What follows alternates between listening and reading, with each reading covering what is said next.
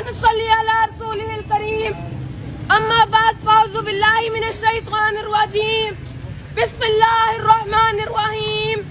إن الله لا يغير ما بقوم حتى يغير ما بأنفسهم.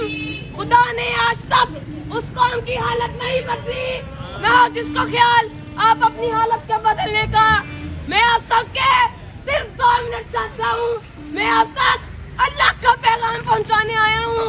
اللہ تعالیٰ قرآن جی میں فرما رہے ہیں، کنتم خیر امتین اخرجت للناس تعمرون بالمعروف وتنہون عن المنکر۔ تم وہ بہترین امت ہو جو لوگوں کے نفع کے لیے نکالے گئے ہو۔ تم ایک دوسرے کو بھلائی کا حکم دیتے ہو اور برائی سے روکتے ہو۔ اللہ تعالیٰ قرآن جی میں فرما رہے ہیں والذی ارسل رسولہ بالہدى ودین الحق لیظہرہ علی الدین کلی ولو المشرکون۔